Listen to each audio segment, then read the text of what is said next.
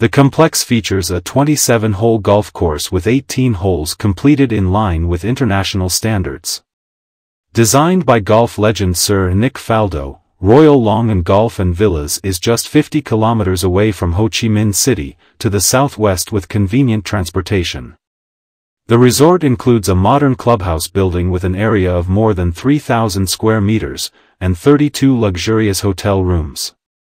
It is expected to be a popular destination for golfers from both Vietnam and overseas, promoting tourism in the province and the Mekong Delta in general. It will also create regular jobs for hundreds of local workers.